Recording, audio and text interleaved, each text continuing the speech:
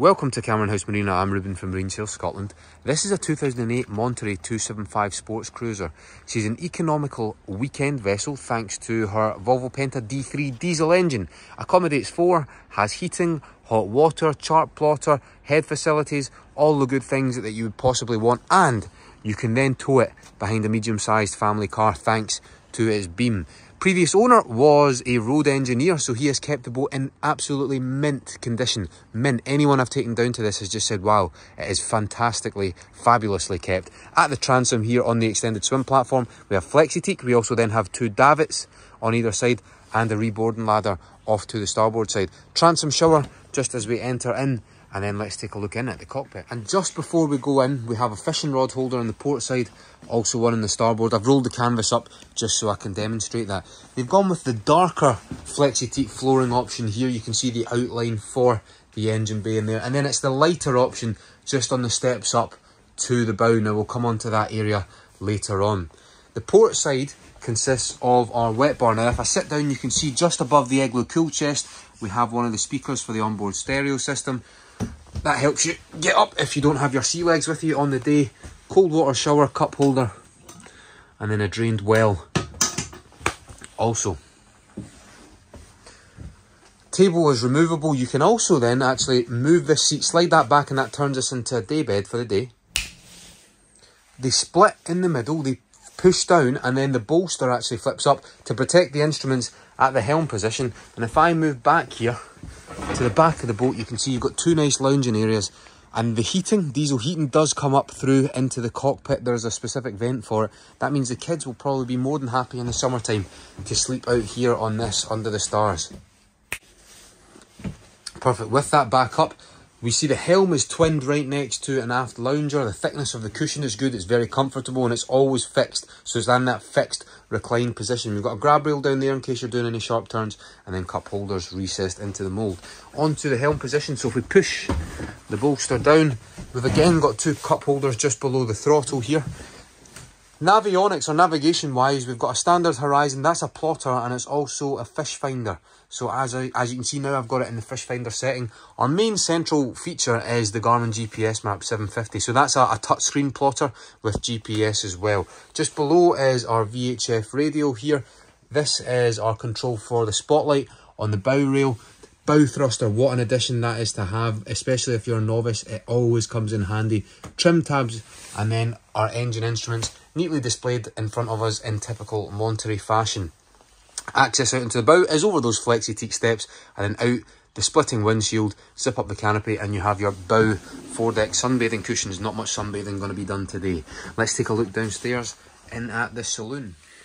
The fantastic condition of the vessel is probably most evident when we come down here into the living, uh, living accommodation and the saloon. No bad smells, upholstery all good, flooring is clean. This is exactly the way that the current owner left it for us. So we've not had to do any cleaning work to it at all. No evidence of damp coming in through any of the windows, no condensation. Everything works exactly the way it should. Let's start off with the galley. So we have a single electric burner, microwave just above that, stainless steel hot and cold sink, and then a fridge with a small freezer compartment stocked with the nation's favourite drink.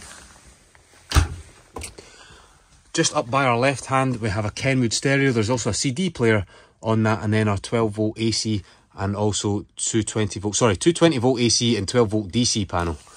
And while we're on the subject of speakers and stereos, just flanking either side of the television in those shark finned fabric areas, you can see just on this side here, we have on both of them our speakers. Now this is probably your main entertainment area as the light dims and the night draws in. You can probably get five or six around the table. It will also drop to turn this into a double bed. What I like is we've got these removable armrests or movable armrests. So if you want to sit there, you can put one on either side of you and it gives you the home comfort of being sat in an armchair. Quite a nice little feature that. I've never seen that before. Storage underneath this in its entirety. Let's sit round up at the bulkhead and just take a quick look back. It's always nice to see. Perfect.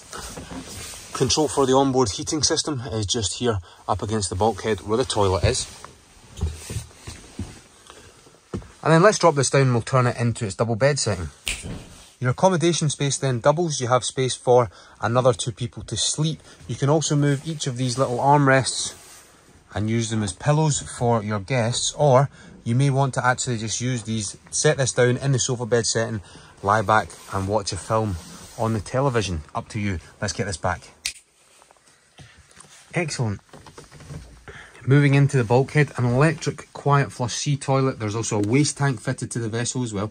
Toilet roll holder with a cover on it, which means that you can use this as a wet head by pulling out the tap faucet. It clips into there just next to the mirror and you can use this as a shower. There's a drain just on that side to pull the curtain across. That does the job. Hot and cold water, a ledge above for your toiletries, access to the wiper motor just above and then a mirror just for your vanity. Also one on the door here as well. Then finally, in the saloon area, looking back aft into the aft cabin area.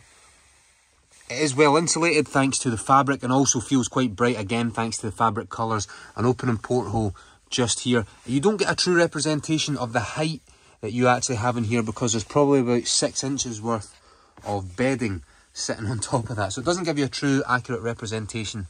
But again, it's very, very clean. Let's finish up with the engine.